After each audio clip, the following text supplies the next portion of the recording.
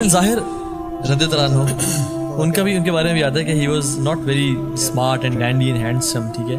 लेकिन अल्लाह के वसल्लम पीछे से गए और यानी देखिए अल्लाह के वसल्लम का जो प्यार मोहब्बत है ना वो हम रियलाइज़ करें कि सिर्फ़ अमीरों से नहीं था या सिर्फ़ यू नो उस क्लास से नहीं था बल्कि जो ऐसे लोग थे जो कि सोसाइटी के निगलेक्टेड एक तरह से वो थे उनको अल्लाह की इतनी इंपॉर्टेंस दी कि लोग फिर उनको इंपॉर्टेंस शुरू कि रसोल जब दे रहे हैं तो। पीछे से गए उनको हक किया और उनको आँखों से पकड़ लिया और कहा कि ये गुलाम मुझे कौन खरीदेगा? मज़ाक किया। मज़ाक किया।